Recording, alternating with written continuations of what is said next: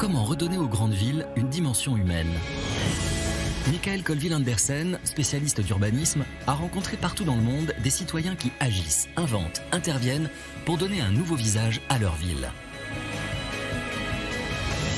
On n'a pas du tout l'impression d'être au dixième étage d'un immeuble. On invite les gens à nous dire ce qu'ils aimeraient voir construire ici. Il y a quelques semaines encore, c'était un espace urbain abandonné. De Medellin à Tokyo, en passant par Paris ou Toronto, bienvenue dans votre espace urbain en pleine mutation. Des villes à hauteur d'homme à partir du dimanche 7 juin à 18h10 sur Planète Plus.